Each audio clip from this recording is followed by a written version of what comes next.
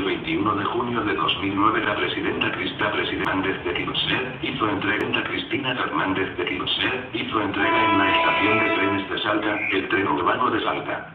Un recorrido de 25 kilómetros, que uniría el barrio Castañares, donde están las dos universidades salteñas, con la localidad de Cerritos. Luego de ese día el tren urbano de Salta desapareció por tres años. Y ahora está en Salta, pero con otro recorrido. Va y viene de Salta Capital a